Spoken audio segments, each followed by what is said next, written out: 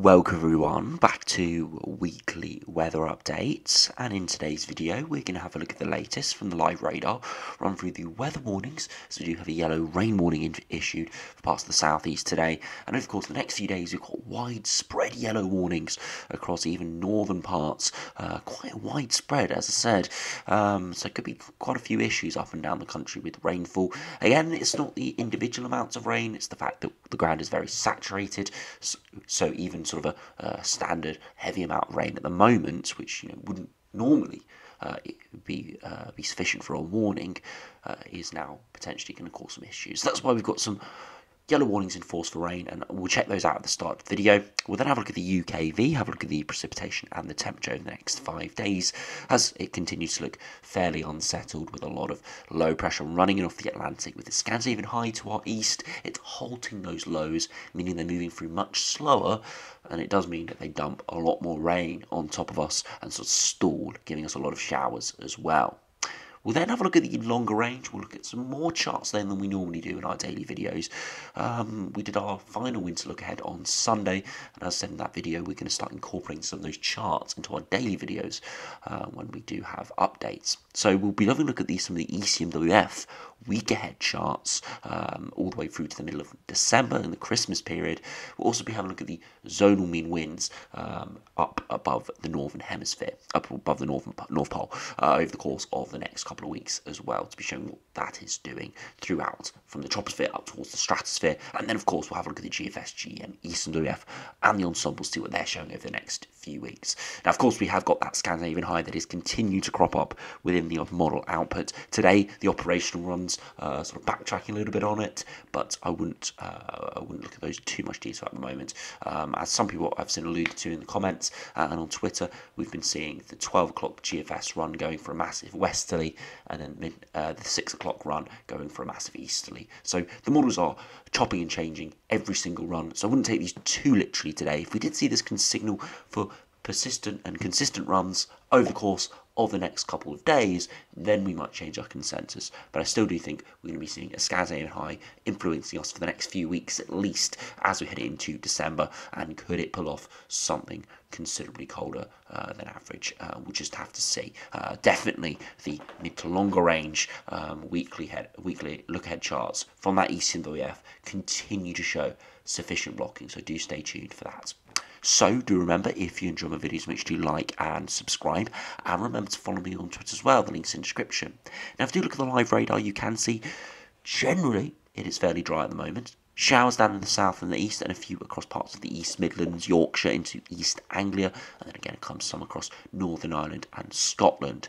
But we've got this big band of rain now uh, now inching into Cornwall, and it will be bringing uh, significantly heavy rain across parts of the south over the course of this afternoon before spreading northwards into parts of the Midlands, East Anglia through this evening. Rush hour, though, should really only impact areas in central, southern, and eastern England, uh, but it could dump a lot of rain. Uh, and we do have a yellow warning issued for southeastern parts. Again, not for a ridiculous amount of rain just from this event. Uh, it's going to have sizable amount of rain, you know, maybe an inch or two, uh, which shouldn't normally cause issues, but it's because it's falling onto already very saturated ground, uh, where we've seen a numerous number of these events over the course of the last few weeks. So yeah, could be some issues around with that, uh, but for the most part today it is fairly dry, but it is cooler with westerly winds coming in, uh, colliding with those easterly winds, uh, where there's cold air actually bunching into Norway and Denmark at the moment. Uh, you probably see the boundary there with that weather front is between really quite cold Arctic air and milder Atlantic air. Uh, and this milder Atlantic air is actually getting squeezed by colder air exiting out of uh, Greenland and Canada that is heading our way as well. Uh, and it means over the next few days we're going to be generally quite cold into the weekend. Could even be seeing some snow over Scotland and widespread frosts for a few nights. Now, I've do put in those 2 metre temperatures, calling this around midday. Uh, and you can see generally it isn't particularly mild at all. Over the course of uh, Scottish Mountains, you can see touching around freezing there over the highest peaks. Elsewhere, very faint colours of yellow, more blues, showing more into the single digits. Maybe the far south and east getting towards of that 11 or 12 degree mark. Now, if you go to the weather warnings, we do have that yellow rain warning issued today in the southeast that stretch all the way to 6 a.m. tomorrow and starts at 5 p.m. this afternoon. So just probably as you're watching this video. You can see 15 to 25 millimetres, so uh, about half an inch to an inch of rain is likely to fall widely, perhaps 30 to 40 millimetres over 12 hour periods. That's sort of an inch and a half. So not ridiculous amount of rainfall in itself, but as you can see here, with the ground already saturated, this may lead to some flooding. Also, gusts of 40 to 50 miles per hour along the coast could be uh, could cause some issues. High likelihood, lower end of the impact matrix. As we move into Thursday, you can also see we do have more widespread yellow warnings. We've got a Scottish warning from 3 pm tomorrow until 6 pm on Friday. A spell of persistent and at times very heavy rain will develop during Thursday, continuing on Friday, leading to a risk of flooding. And it's sort of the remnants of this rain in the south that is pushing northwards uh, and sort of spiraling around because the Scandinavian high halts it moving further eastwards. So it sort of just spirals on top of us, dumping a lot of rain. So yeah, you can see potentially some more flooding risks. Again, maybe 50 to 70 millimetres over the higher ground of eastern Scotland and maybe 100 millimetres uh, across the hills of Angus and Aberdeenshire. Uh, again, high impact here, low end of the likelihood. So again, uncertain with the amount of rainfall that falls, but if the amount that could fall does fall, it will be high impact. So we'll have to see what happens with that. And there's a more widespread yellow warning across parts of northeast England, down into the Midlands, northwest England, and northern Wales from tomorrow at midnight until, uh, well, tomorrow, uh, tonight really at midnight until tomorrow midnight. Heavy rain leading to a small chance of flooding and disruption Outbreaks of rain, heavy at times, will move northwards across the Midlands, North Wales, and Northern England during Wednesday night, persisting through much of Thursday. 30 to 40 millimetres it is likely to fall quite widely over a 24 hour period, so an inch and a half of rain, with a small chance of over 60 millimetres, so over 2 inches, and perhaps up to 80 millimetres, which is 3 inches of rain. This brings a chance of flooding and disruption. The rain is expected to become less widespread and more intermittent during Thursday night. Again, high impact, low likelihood again the remnants of that rain that's uh, entering into the north, uh, into the southwest, that's moving northeastwards at the moment, that will spiral around and just give all this heavy rain further northwards through Thursday and Friday. If you now go over to the UKV look at what is happening with that rainfall. You can see uh, showers at the moment, but they die out, of course, this afternoon, and the heavy rain pushes into the south, and really, during the day, only really impacts M4 line southwards. For rush hour into the London area as well, for moving northwards slowly, and then you can see through uh, tonight into tomorrow. It just sits and spirals across northern England and Scotland, hardly moving and just sort of spiraling on its axis, just giving continual heavy rain through Thursday. Quite a miserable day, uh, and eventually it just continues to dump all its precipitation on us for eventually peating away through Wednesday. Uh, through sorry Friday into Saturday. Saturday could see an overnight frost in those clearer skies. We're in a wedge of colder air there, and then into Sunday we do see weather fronts bump into that cold air, could see snow over the higher ground of northern England and Scotland. Elsewhere, though, just cold rain. And into Sunday could be a cold but blustery uh, day with a lot of showers. And then as we head into Monday, continued unsettled with again wintry showers over the higher ground. You could even rule out maybe the odd uh, sleet shower or hail shower to lower levels as well at times. So yeah, turning much more cooler, uh, sort of more wintry into the weekend. Again, nothing unusual for this time of year. Is getting towards the middle to end of November, so colder air uh, and wintriness is not too unusual. Um, but yeah, come to a shock. Uh, it's going to be a shock to the system considering we've been so mild recently. The reason for this is look at those upper air temperatures around the minus 3 to maybe minus 5 area, which is sort of typical conditions you need for snow, uh, but again, you need something embedded to get any widespread uh, wintriness. And you can see it is a very small wedge of cold air, but it will give considerably colder than average conditions into the weekend. We'll see this as well on the max temperatures. You see today, widely sort of 8 to 10 degrees, maybe peaking 11 or 12 in the south and the east. Tonight, frost maybe across parts of Republic of Ireland, Northern Ireland. Again, localised, many areas dropping down to the mid to low single digits. Elsewhere, though, mid to high single digits. Through Thursday afternoon, you see those temperatures rising to maybe 10, 11 in the south, but widely sort of 7 to 10 degrees elsewhere. And overnight, once again, dropping down towards the mid to high single digits. Friday, another cool day, maybe maxes of only 8, 9, 10 degrees peaking at 11, but not feeling particularly pleasant at all. And then into Saturday, overnight, you can see widespread conditions down towards the low to single, uh, low to uh, low single figures uh, across Republic of Ireland and Northern Ireland, widely around freezing, and across England, Wales, and Scotland, widely around that sort of 2 to 4 degree mark, locally colder than that.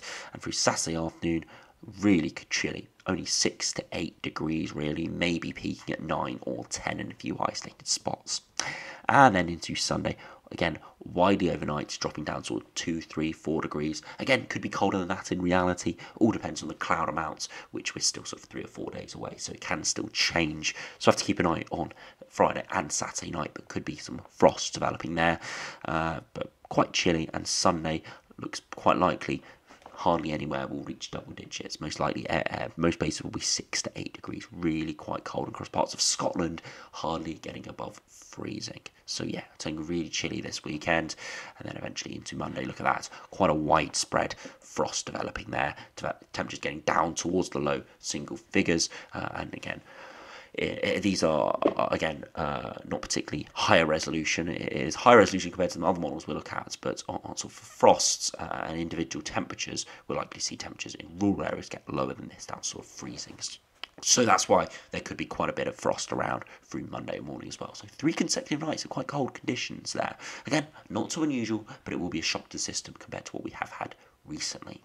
So do now go on to the mid to longer range and we go to the ECMWF weekly mean anomalies. We'll have a look at these charts and then we'll go on to the uh, normal sort of GFS, GEM, ECMWF and the ensembles. So you can see this week we've got the Scandinavian high developing to our north and our east, um, but we've still got low pressure coming in from the west. And what this does brings a battleground of easterly winds against westerly winds, and that's why we're seeing cold weather towards the weekend. Nothing considerable, but it's moving the jet stream to the south, putting us on the cold side of the jets, so we're generally below average.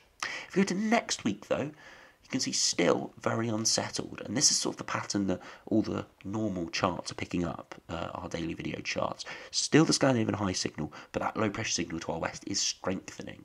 Um, and that means that we are most likely going to stay fairly unsettled, uh, not particularly cold, still probably uh, average to slightly below average, but nothing considerably cold and fairly unsettled.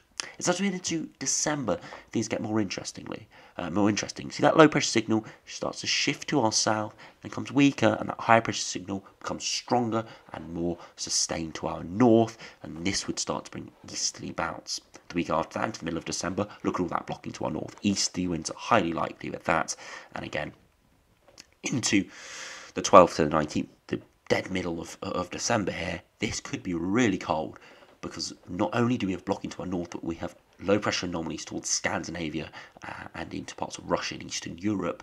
This most likely is a blob of the tropospheric polar vortex, which contains the coldest air over the northern hemisphere, uh, or some of it. Uh, and this will mean that any easterlies we get, there will be, yeah, not just cold, but it could be very cold.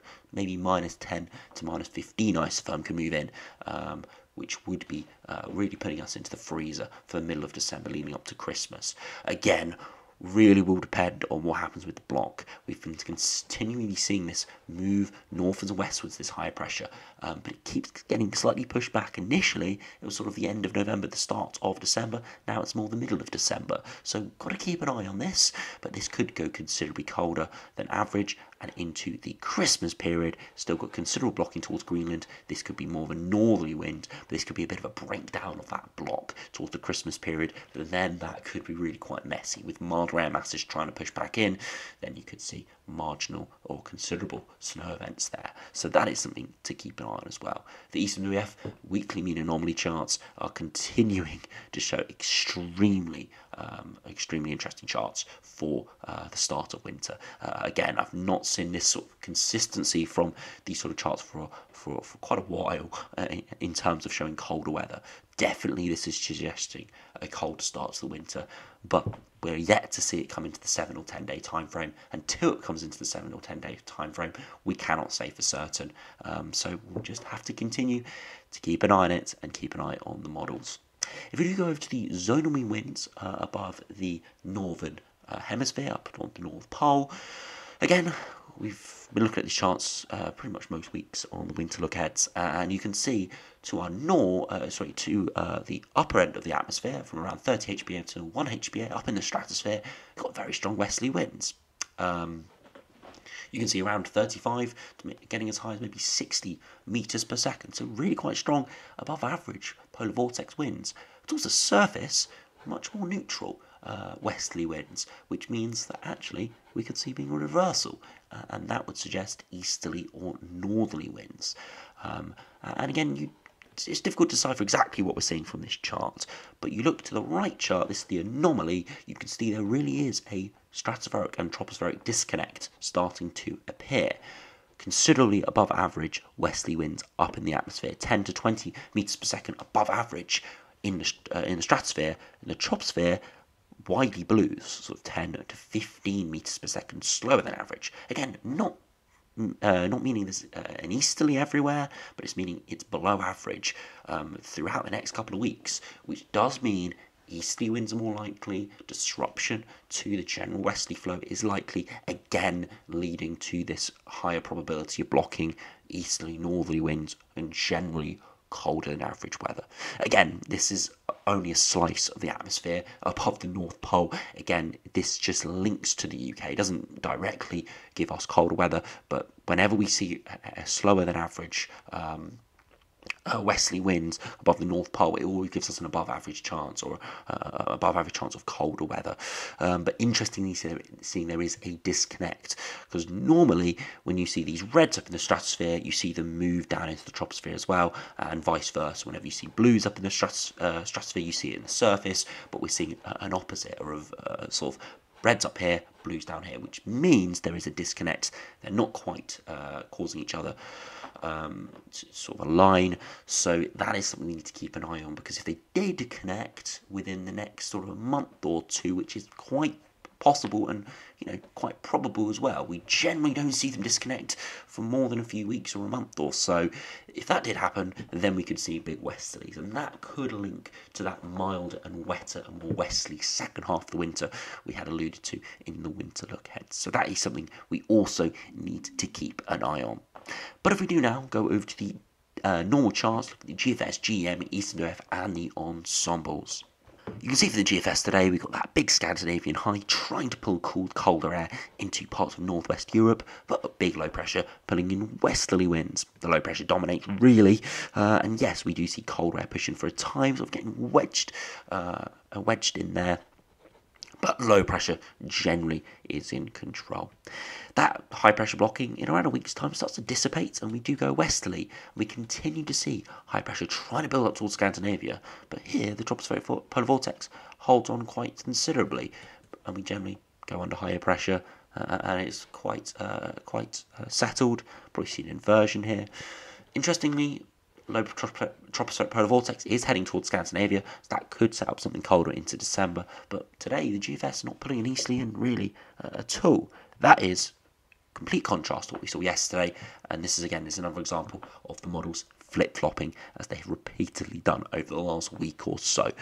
Um, so we have to see exactly what happens, um, what happens with this, and why you know there's no point looking at these individual runs or, or putting too much weight in them. Is because as we see in the GEM, and the ECMWF, they have opposite pattern. This has got high pressure sat right over the top of us. The GEM, and the ECMWF at day 10. Uh, I know this is 384 hours, but at day 10 here, the GFS definitely has high pressure trying to build in. If we do put on those pressure charts, you can see higher pressure is trying to build in here, um, but as we see in the GFS, uh, so the GEM and the ECMWF, low pressure is firmly controlled day 10. So huge contrast today uh, between the models, um, not only between the individual runs, but also between the model's previous runs as well. So that's why there's a lot of volatil volatility at the moment. And looking at individual model runs it's probably not the best thing to do, but you know you've got to keep an eye on them, of course, and see what uh, what they're showing, and of course try and spot trends.